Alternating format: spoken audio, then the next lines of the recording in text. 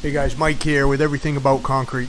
Now in today's video we're going to talk a little bit about dry poured concrete versus wet poured concrete and why why I think dry poured concrete really isn't the way to go for you if you're a DIY or a homeowner.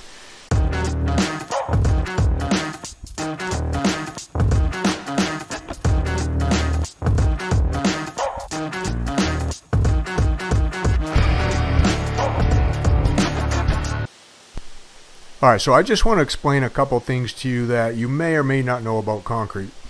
Now, concrete is made to be mixed with water because the cement part of the concrete, the gray cement fine powder in the concrete, when mixed with water, creates a paste. And that paste needs to get wrapped around the sand, get wrapped around the, the rocks, the aggregate. It's the glue that holds everything together.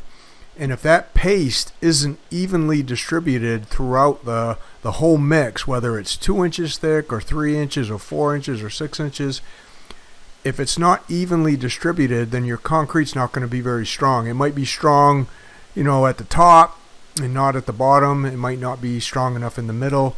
So if you're just going to go sprinkle water on the surface of the concrete, you know, over and over again for multiple hours, you're not creating a paste in the mix. All you're doing is, is wetting the concrete. Some of the cement might not even hydrate. You know, hydration is the, the chemical reaction that takes place between the cement and the water. That, and it's the hydration is what makes the concrete harden. So how do you know you're evenly distributing moisture or water throughout the thickness of the slab if you're just sprinkling water on the surface, you're actually probably weakening the surface because you're adding so much water at the top and very little at the bottom and maybe just a little bit's getting into the middle. So you're creating a very uneven uh, uh, watered slab that's not going to be very strong. Now when you when you pre-mix the concrete, whether it's from bags or out of a concrete truck like this, the concrete is mixed very, very evenly throughout every inch of the concrete, whether it's, like I said, this one's four inches thick, could be five inches, could be six inches, whatever. It's mixed evenly. So you've got an even water to cement ratio.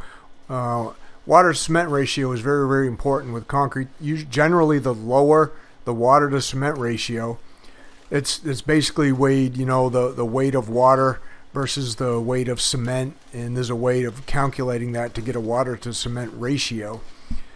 And that's that's how they determine strength of concrete and mixed designs. Um, but for you I mean all you need to know is the the the mixture needs to be mixed evenly. You can't have a lot of water at the surface and hardly any at the bottom and expect to get a really evenly strengthened concrete slab. Um, in a slab like this you can see it, it was pretty easy to to pull around. The concrete was it was pretty easy to float out the edges and then screed the concrete off. And then you can see my daughter Tia here is putting on a nice smooth surface with the bull float basically just going down and back. And it's smoothing out the surface and getting it really really smooth versus you know when you dry pour concrete you got to dump the bags out dry. You know you kind of you kind of rake them around very similar probably although it's a little bit more workable when the concrete's mixed like this. And then you got to screed the concrete out. You got to you got to kind of like saw the the screed back and forth and back and forth to kind of make the rocks settle and bring up the fines of the dry mix. And then you got to either either you know use a paint roller I guess to roll the surface to to maybe smooth out the, the screeding marks. Some people don't even do that. They just leave the screeding marks from what I've seen. And then you've got to be really careful to sprinkle the water on the surface so you don't uh, you don't blow away the fines on the surface and, and, and expose the aggregate. Whereas here, you mix you it's in, you mix up a, the concrete with a paste like this and when you mag float the surface you bring some of that paste to the surface and you can see how smooth that gets on the surface and then to go to finish it I mean we let this after we poured and bull floated this we let this set up for maybe 15 or 20 minutes and then you can see Darren here is he's he's smoothing out the edges. He's rounding that edge off with an edger. The concrete here is still pretty soft. And you can see how easy that is now to round out the edges versus if this was dry, you'd be fighting the, the, the rocks and the dry aggregate on the edges and trying to fill in any voids. When you when you put an edger in like that you're basically moving rocks kind of towards the inside of the slab I guess because you're creating a space now between the 2x4 and the concrete a little bit with the edger now when it's when the concrete has moisture in it when it's wet mix like this that's pretty easy to do. When it's dry mix you're really fighting the aggregate. And now we're cutting a joint in here because you know if this does want to crack we want to give it a place to crack. And I let I actually let the concrete set up a little bit more after I edge it. So it's kind of firm and it holds its shape really really well. But you can still see how easy it is for me to joint that in a wet wet mix concrete versus a dry mix. I don't even know. I don't even think I could do this in a dry mix and create a really nice looking joint like this. I think you'd have to maybe saw the joint in afterwards. So, I mean, and I've done this for a long, long time. Um, and I've even done a dry pour mix, so I know it's going to be very difficult to cut a joint in like that versus when you have paste to work with. See right there, I'm scraping up a little bit of paste off the surface, maybe to fill in a tiny little void in the surface.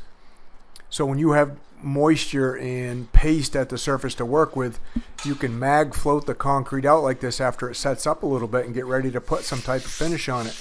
Now this one, we're going to put just a light broom textured finish on it. And then we're going to leave like the picture frame look with the edger and the groover mark in the middle to give it, you know, a little bit more of an enhanced look than just just like a basic sand finish that you'd get out of a dry pour mix. So I want you guys to tell me in the comments below, you know, do you think do you think pouring a little slab like this is difficult using wet poured concrete? Uh, whether you're going to use a bag mix or, you know, ready mix concrete? Versus say you know dumping dry bags of concrete in here leveling it out trying to get a nice finish on the surface. And I don't even think you can get a broom finish a broom textured finish with a dry pour. You'd just be basically brooming off the the fines of the surface and exposing the aggregate again. So I think that's out of the question.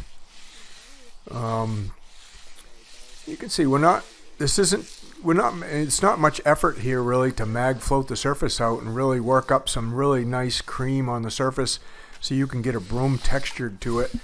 Um, you could actually stamp this is if you were going to stamp a pattern in the surface this would be the time to stamp it. And you can see I'm going to just basically got a two foot concrete broom there. Just going to lightly drag it across the surface nice slow and easy and then that's going to be the finished finished slab right there. You know, that's a good, nice non-slip type finish. The, the concrete here is going to be very, very strong and durable throughout the entire mix because it was mixed evenly. And then, you know, if we want to cure this thing after it after it dries up, let's say the next day, if we do want to cure make it cure slower and get even stronger, we could just keep wetting wetting this down for a few days and not letting it dry out too fast. You can see how easy it is just to drag a broom across the surface. A really fine broom. You don't want to you don't want it too rough. And this will create a very nice finished, nice looking slab. So you guys let me know dry poured versus wet poured concrete. Um, I know there's a ton of videos out there right now on dry poured stuff. Everybody's pushing dry pour, dry pour, dry pour. But I mean, do you really know how strong that's going to be down the road? Do you really know if the concrete is evenly hydrated throughout the thickness of the slab?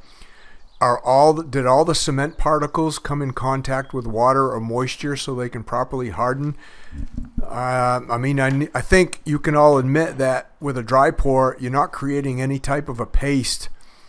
You're not creating a glue to you know, circle and circle the aggregate and circle this the sand, you know, to create a nice strong mix. There's no glue. You're not making any type of paste.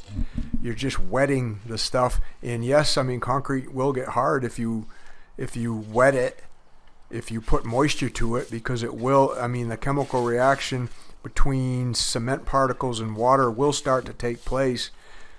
But how even is that? You know how even is that chemical reaction taking place?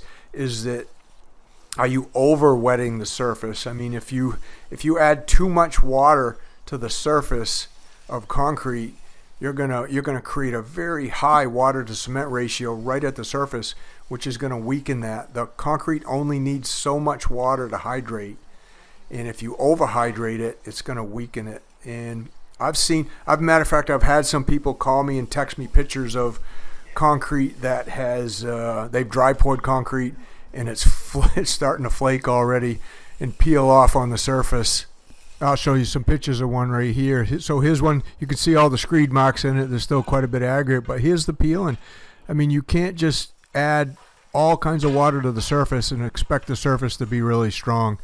It's just going to weaken the surface so much that the paste or actually the cement particles at the surface won't even bond with the aggregate underneath it, and that's really unfortunate. That's a pretty big slab right there. So you guys let me know what you think. Um, are you gonna are you gonna continue to maybe do dry pour concrete, or have you changed your mind? You know, I would definitely recommend doing a wet pour if you need help with that. Down in the description, you can just get a hold of me. I can try to help you out. But again, guys, thanks for watching. We'll see you on the next one.